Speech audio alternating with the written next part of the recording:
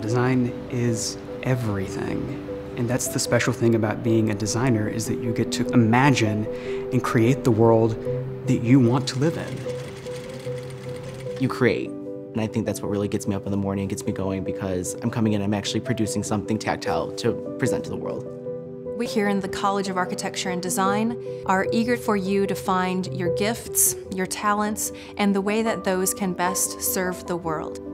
I love everyone here. They're such phenomenal people. Everyone is so nice, so caring, and they're, everyone is willing to help no matter what. Even if I'm really busy, I will drop everything to help somebody.